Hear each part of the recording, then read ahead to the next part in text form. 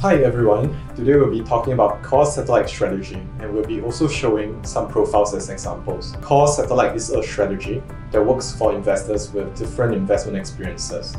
It is also used by many financial institutions as a method of portfolio construction. It is simple yet powerful for everyone.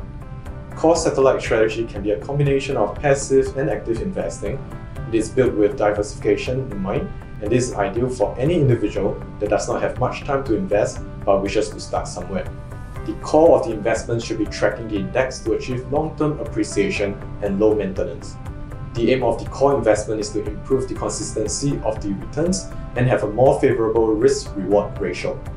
The satellite portfolio can include higher risk investments that generate higher returns.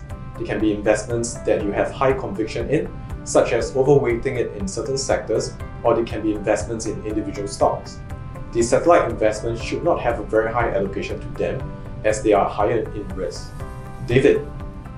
This example here we have 55-year-old draws a monthly income of $10,000, manages to save about $4,000 monthly and is willing to make an investment amount of 200k initially, adding 3.5k every month.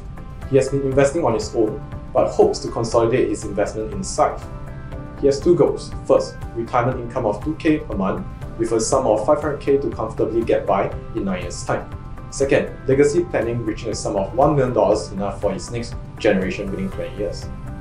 From his investment experiences in the past, he would like exposure towards emerging market bonds and investment grade corporate bonds within his portfolio for better yield and wealth preservation.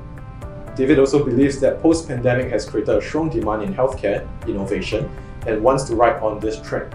To meet his retirement goal, nine years later, he uses three portfolios highlighted in blue. First, using Syfe Core Defensive as his core holding with 40% of his investable amount. This portfolio has about 70% in bonds with a smaller allocation of 20% in equity and 10% in gold. This portfolio delivers on an average annualized return 4.72% across the years is the lowest risk amongst the core offerings. Second, allocating 10% into Syfe Select Custom Portfolio to form its satellite by picking up iShares JP Morgan USD Emerging Markets Bond and iShares iBoxx Investment Grade Corporate Bond ETF. As he has no need for passive income now, he starts off with a smaller 10% allocation towards REITs. On the ninth year, he will then channel his proceeds from the core defensive and custom portfolios into REITs to meet his passive income goal. For his legacy planning goal 20 years later, he uses two portfolios highlighted in yellow. Selecting the Syfe Core Balance with a 30% allocation, it is a moderate risk portfolio with an average annualized return of 7% in order to sustainably grow his wealth via a balanced mix of 40% equities, 50% bonds, and 10% gold. On top of that, he then added a thematic portfolio, a healthcare innovation as a satellite with 10% allocation. This is the sector which David has great conviction in. David is able to fully utilize the different portfolios at Syfe to achieve his investment goals. He adopted a core satellite strategy and empowered the allocations with monthly contributions to accumulate towards his goals at a comfortable pace. With proper portfolio planning, he is able to manage his risk and attain passive income for his retirement by shifting funds from core balance and custom portfolio into the REITs portfolio after 9 years.